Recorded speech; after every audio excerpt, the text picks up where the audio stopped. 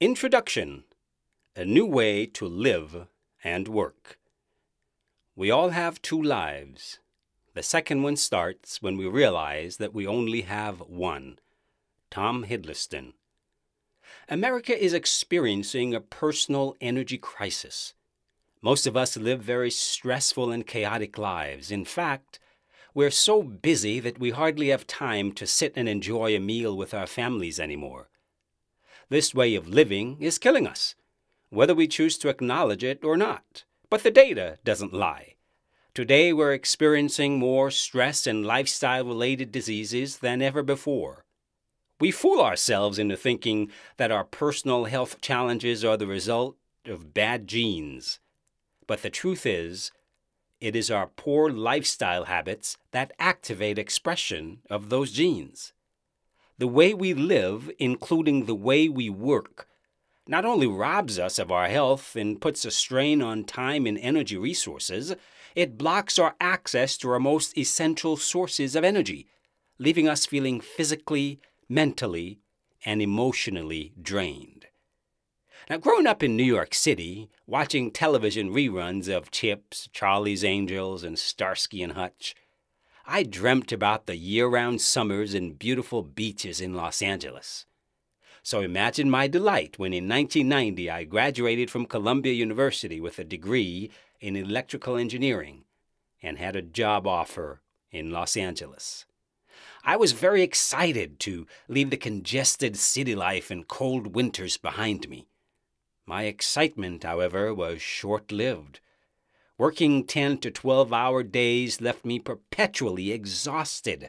I had to get up at 5 a.m. just to get my workout done, which meant getting less than six hours of sleep each night.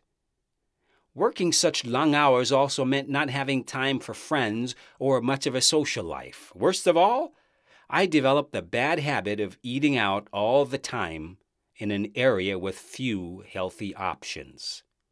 I was unhappy. I felt drained every night. I was unfulfilled. My new job was literally bad for my health. This lasted for two years before I finally asked myself the same question I now ask my consulting clients Why are you doing this to yourself? After four years in corporate America, I made the discovery that I am not the employee type.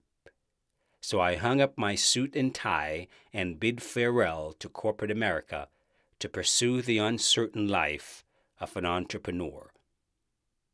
My experience working in corporate America is not all that uncommon, however. Most people respond to rising demands by putting in more time.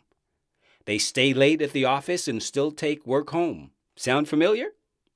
rising demands on our time eventually takes a toll on health, energy, and the very experience of living. But it doesn't have to be that way. The old paradigm of sacrificing health, family time, and quality of life so that we can get more done is yesterday's thinking. Fortunately, more and more of us are realizing that the way we currently live is unsustainable we recognize that time may be a limited commodity, but energy is renewable and therefore limitless. The new way to live is to cultivate positive energy in all areas. This, in turn, will make your life, including your work, more engaging, fulfilling, and definitely more meaningful.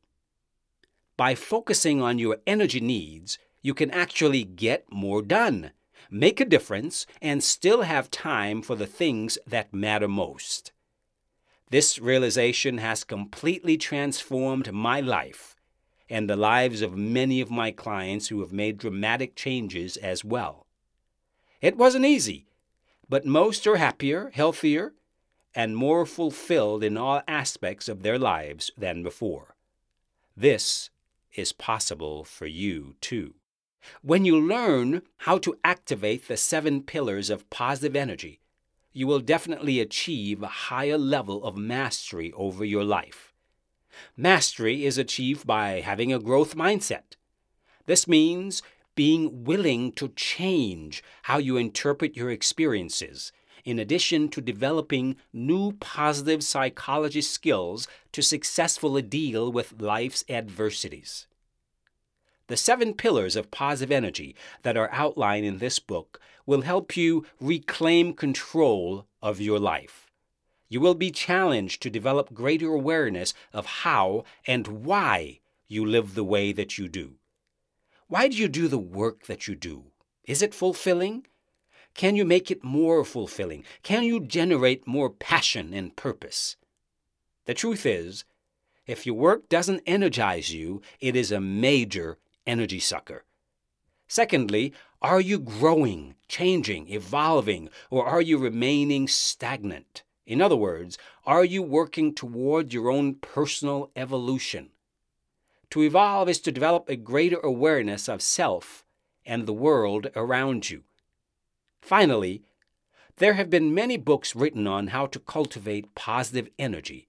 However, none have touched on how to activate all seven sources of positive energy passion and purpose, personal evolution, physical vitality, positive energy, positive psychology, pro social behavior, and play.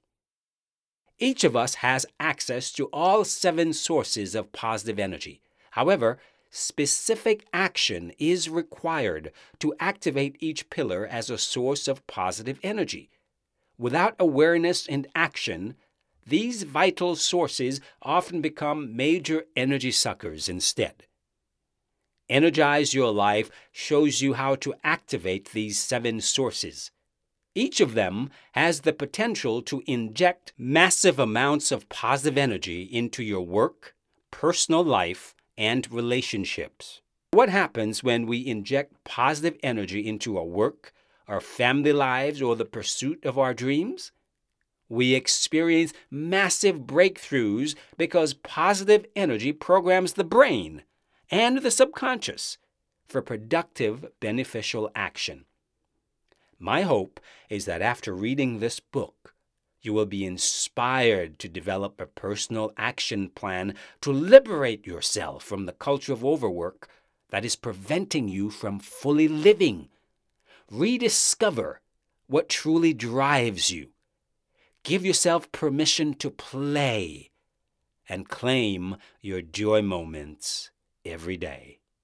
Read on.